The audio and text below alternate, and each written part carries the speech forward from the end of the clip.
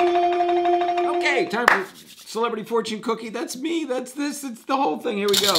And we've got Casey Kasem coming in at number one. And right now, here's your fortune coming in at number one. And we'll see exactly what it is.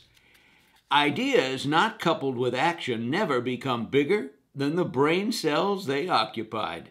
Well, that's of dubious scientific validity, but who knows?